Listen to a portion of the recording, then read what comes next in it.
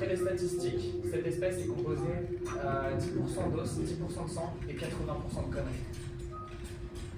Elle crée ce qu'on appelle un sentiment de supériorité qui permet de pousser tout le monde et d'avoir une place dans le métro. Dites à Jeanne d'annuler tous les rendez-vous. Nous allons avoir du travail. Oh, poussez-vous là, c'est la route Je crois que ce Paris veut nous dire bonjour. Alors, je pense plutôt ici qu'on les nomme Paris. Salut, salut Bonjour Oh Regardez Je crois que ça marche Tu as raison, et il y en a qui jettent même leur repas. Tu crois que c'est pour nous? Je pense plutôt que c'est pour nourrir cette, cette chose-là. Regardez le charisme que dégage ce colombé. Surprenant, non? Il faut absolument que je récupère un spécimen. Avec ça, on va faire triomphe à notre tour. Comme ça, Jeanne pourra analyser les échantillons. Et regardez, il y en a encore un autre, et un autre, et un autre, et un autre. Et voilà, tu lui as fait peur. Vous entendez cette douce mélodie? Je crois que ça vient de lui.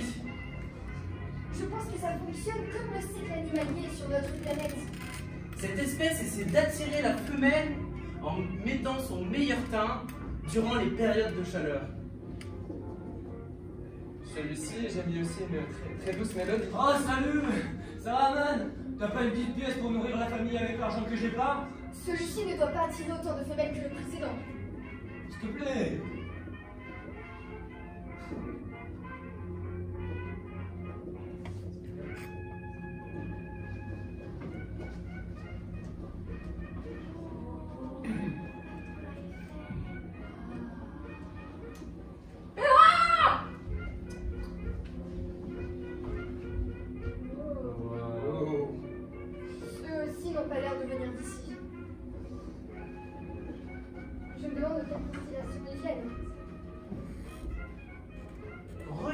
Regardez-moi ça Cette personne en sa possession une réplique parfaite du monument que tout le monde parle, mais à une échelle plutôt différente.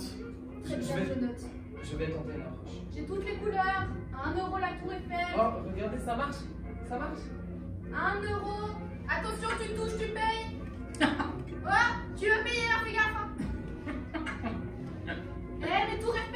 De Bolossitude. Et Ah, de second de petite dune. Peut-on les éliminer Non, pas tout de suite. Ouh, sirène. Bon, j'en ai marre. Demain, on visitera l'Auvergne.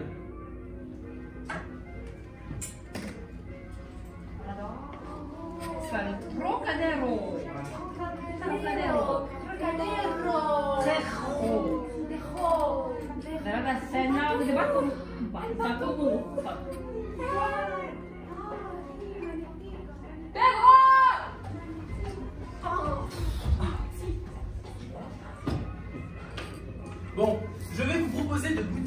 coutumes locales. Ce matin, je suis allé sur le marché galactique et j'ai échangé mes crédits républicains en ce qu'on appelle ici euros. J'ai en ma possession exactement 50 euros. Avec ça, je pense qu'on a de quoi manger. Ça tombe bien, il y a un café là-bas. Allons-y.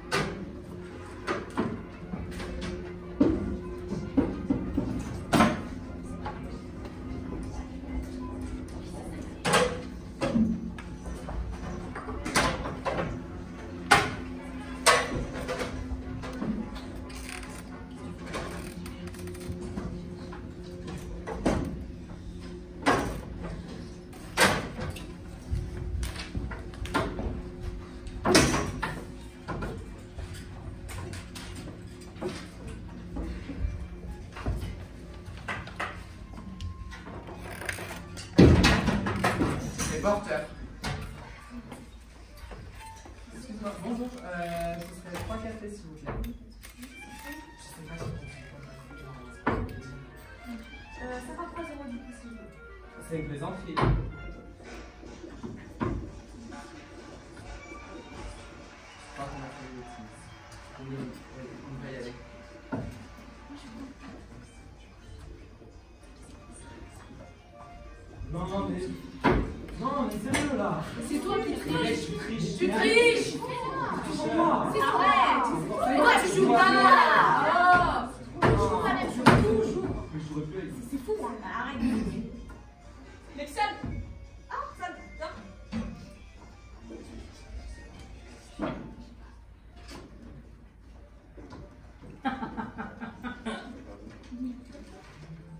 Ah, on a fait un voyage fabuleux, vraiment fabuleux. En premier, on a visité l'Italie. Le temps était superbe. On a pu voir un tas de choses. En plus, on avait des guides géniaux qui se sont surpassés.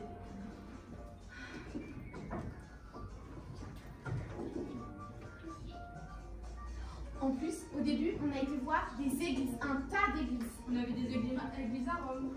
Des églises à Florence. des églises à Venise, Je me demande bien où il n'y avait pas d'église. une église, encore une église, encore une église. Oh, et il y avait une église avec un clocher, Une église avec une tour. une autre avec deux tours. Il y a de devenir dingue tellement il y en a des églises. Bon, Bon, ça va? On a compris le principe. Non.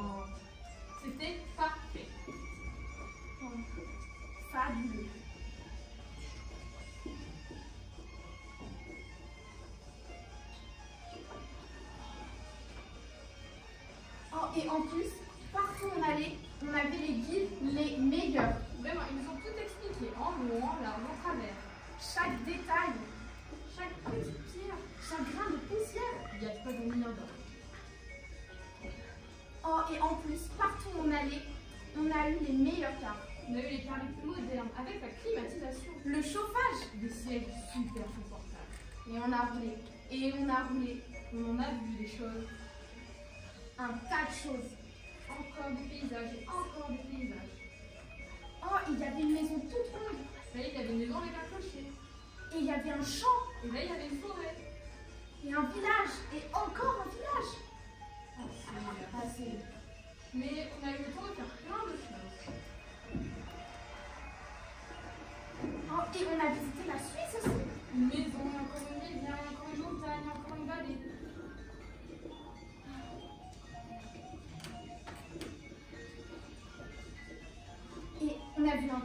choses. Partout, partout on a visité. Et à Londres, alors là, Oh oui, génial à Londres. ils nous ont emmenés dans un cabaret. Mais non. le cabaret c'était en France. Mais en aussi, on, a été dans un cabaret. Non, c'était en Italie. Oh, et tu te rappelles, il y avait des églises comme en Italie. Et le temps, il était superbe. C'était à Londres. Oui, et on a fait des achats, Des t-shirts, des manteaux. des bottes. Non, mais là, tu triches, là sérieux. mais c'est lui qui triche. Il a des gars dans les Forcément,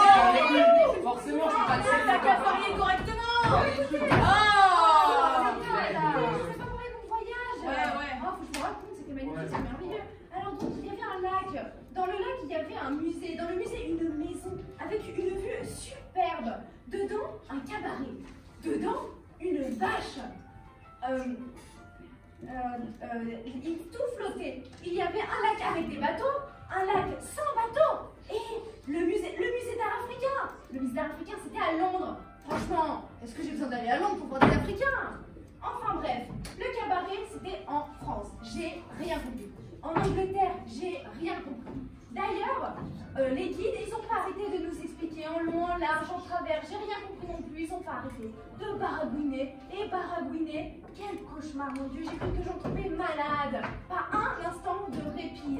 Ça dit vraiment intéressant comme ils bossaient et les efforts qu'ils ont faits.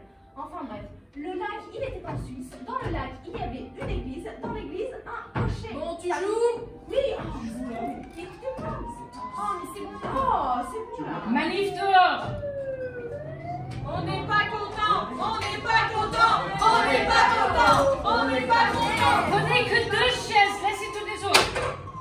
Tout le monde prend pas de Mais qui, qui veut être violent On n'est pas content On n'est pas content On n'est pas content Ah, est-ce que j'aimerais sortir du pays. Sortir euh, de la pluie, sortir euh, son pain, sortir de l'ennui, sortir presque de la mort. Pas vous? Il y a là-dedans quelque chose qui me revient pas. Quelque chose qui me ronge, qui me découpe, qui m'assèche, qui me pousse dans le ventre des roses rouges de douleur. Des roses de vie et d'eau de vie. Ah tiens, Candice, je veux bien de l'eau de vie, s'il te plaît. Merci.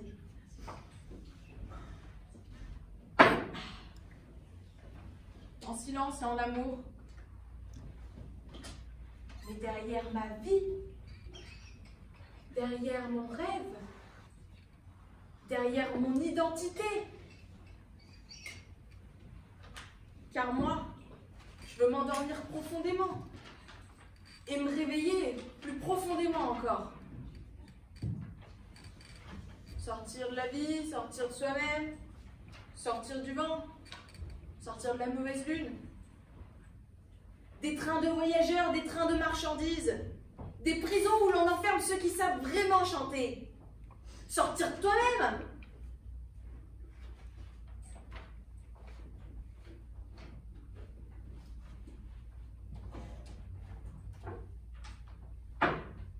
Car c'est avec des mots qu'on écrit des chansons.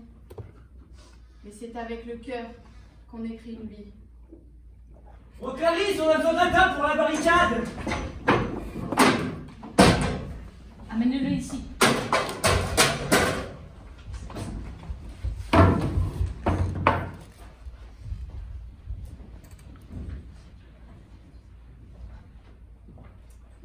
Ivar Rostrug était nomade.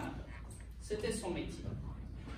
Non pas car il était payé pour faire cela, mais car il avait reçu, le jour de la mort de son arrière-grand-tante, une somme suffisamment confortable pour lui permettre d'assurer un avenir à l'abri du besoin. Il avait alors pu se verser un salaire confortable tout en se livrant à son activité favorite, parcourir la surface terrestre. Au moment de notre récit, son esprit divaguait à propos de l'œuvre de Sir Terry Pratchett, divagation stimulée par la présence d'une faux, posée sur un arbre dans le bas-côté du charmant sentier de Gordon que notre protagoniste parcourait. La citation « On n'a jamais vraiment voyagé tant qu'on n'est pas rentré chez soi » lui vint alors à l'esprit. En effet, elle posait un paradoxe. Une fois mise en relation avec le proverbe « La maison du nomade et le monde ». Mais si le nomade a pour maison le monde, cela veut-il dire qu'il ne peut rentrer chez soi car il n'a jamais vraiment quitté son domicile? Cependant, cela implique-t-il que le voyageur nomade ne voyage pas, ou du moins pas réellement, car il ne peut rentrer chez soi.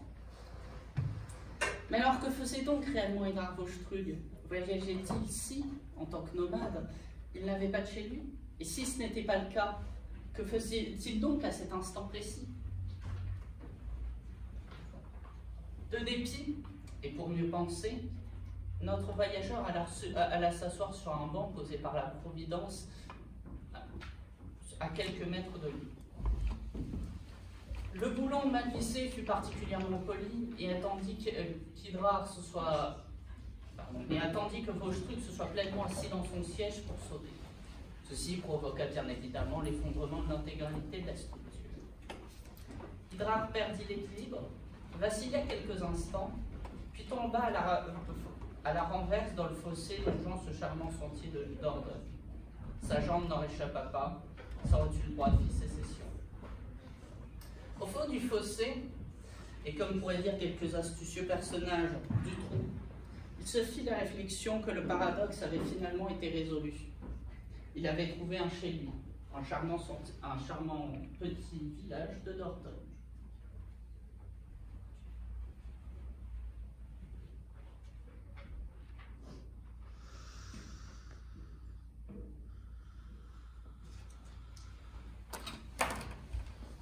Tout à l'heure, quelqu'un avait proposé